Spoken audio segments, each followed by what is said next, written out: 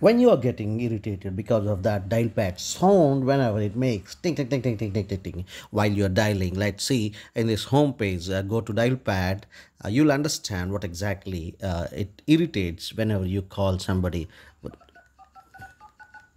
See like this whenever you dial something this is making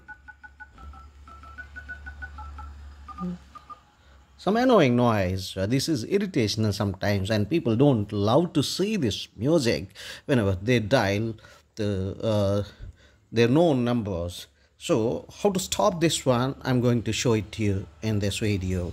See, if you're on your uh, uh dialer pad, uh, go to these three dots on your mobile straight away, and going to three dots, you'll get this settings. Go to that settings, tap on that one, and scroll down gently uh, we will have an option to select your sounds and vibration here.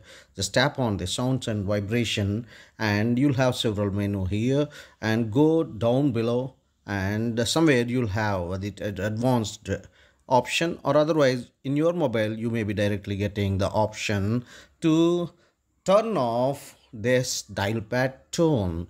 So whenever you are dialing something uh, this irritational sound can be switched off or can be turned off by just disabling this option dial pad tone. So now i have turned off this. I'm going back and again uh, trying to dial one more time.